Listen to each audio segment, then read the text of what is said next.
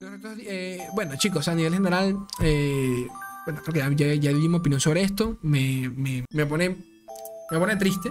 Ya capaz de solo hablo de eso en otro video con mucha más calma, con más entendimiento, porque no hace falta. Pero siempre me pone un poquito triste el tema de, la inversión en el juego. Esto lo comento porque sé que me lo van a preguntar y a ustedes les interesa. ¿Te preocupa? Eh, siempre me preocupa, claro que me preocupa. Pero personalmente, personalmente, Lord siempre tuvo un buen price a, a nivel anual siempre tuvo, ¿cómo decirlo? Un buen... Coño, tenía un, tenía un price pool apetitoso, ¿no? Para cualquier jugador competitivo. Mi problema con el juego como creador de contenido era que era complicado hacer contenido sobre el juego. Necesito eventos, necesito que me, que me obligues a, a, estar constantemente jugando. Ese siempre fue mi drama. Y personalmente siento que este nuevo sistema eh, promueve el mantenernos activos en el juego. Y eso es algo que agradezco. Entonces, esto lo comento para que lo tengan en perspectiva. ¿Cambió algo tener un buen, un buen price pool? No, no cambió nada. No cambió nada. ¿Cambiará ahora tener menos price pool? Mira, si no cambió nada tener un buen price pool, yo no creo que esto afecte mucho más. Obviamente, hay que ver cómo cómo se desarrollan los primeros meses, apenas eh, un porcentaje de los, de los jugadores competitivos vean el price pool y en general se sientan un poco echados para atrás viendo lo, que lo, lo poquito que se puede hacer, algunos se bajarán del barco. Eso, va a pasar. Pero hay que ver si este nuevo sistema directamente incentiva a que juguemos más. Y al final del día no se trata de que juguemos por dinero, habla, haciendo referencia a los jugadores competitivos, no se trata de que solo jueguen por dinero, sino que también jueguen porque realmente disfrutan el juego. Y Lore en muchos sentidos, aunque es excelentísimo, tenía unos vacíos existenciales en donde no había razón alguna para jugar. Así de simple, al menos en mi opinión. ¿Ok? Así que paciencia, intento ser objetivo sobre el tema, un poquito de paciencia. A ver cómo, se cómo nos desempeñamos, al menos durante esta primera temporada, ¿ok? Debo decir que al menos, tras haber leído un poquito, por encima de todo, debo decir que me gusta. Al menos a mí me gusta.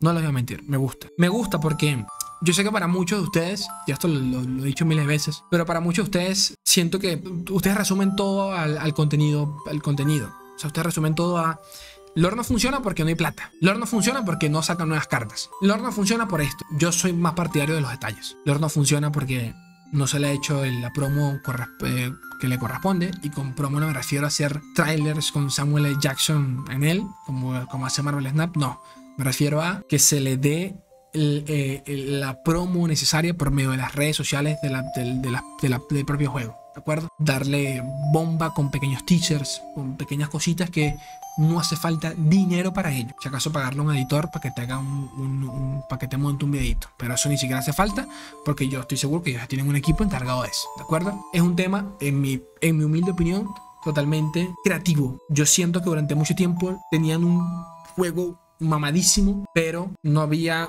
ningún tipo de, de, de, de, impacto mediático cuando había cuando habían los mundiales. El último fue buenísimo. Pero ¿se acuerdan del primero? El primero ni se supo cuándo comenzó por Twitter. Es por ningún lado lo compartieron, ¿ok?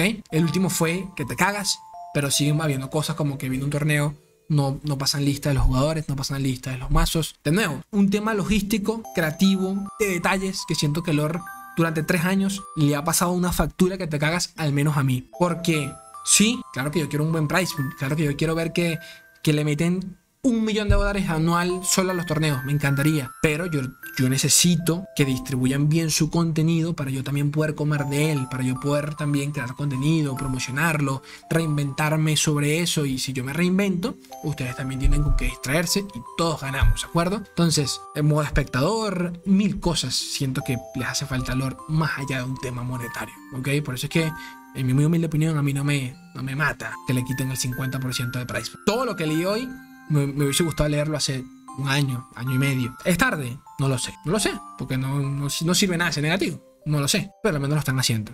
Y siento con mucha sinceridad que desde, desde el cambio de dirección que, que tuvieron con Steve Rubin y Dave como nuevo director del juego, han tenido un camino mucho más claro sobre qué es lo que quieren hacer del juego, no a nivel inmediato, sino a largo plazo. Y creo que esto lo refleja bastante bien, al menos en mi opinión.